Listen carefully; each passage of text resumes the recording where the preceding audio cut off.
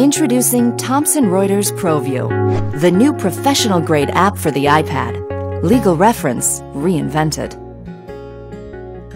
Thomson Reuters ProView allows you to read and annotate books ordered from Thomson Reuters on your iPad wherever you are, providing access to legal reference materials and legal research that integrates seamlessly within your workflow.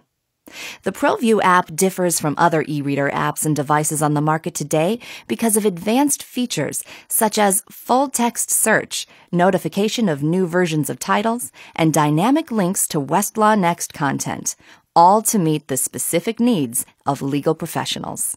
In this series of lessons, you'll learn all the essentials about how to get started using ProView on your iPad. In the first lesson, we'll look at how to access the ProView iPad app and how to download new titles to your iPad. Then in the next lesson, we'll review how to navigate through a book and how to search within the book and table of contents. Next, we'll look at adding notes and highlights to text. And finally, we'll see how to adjust the ProView display, including how to increase the font and change the color scheme.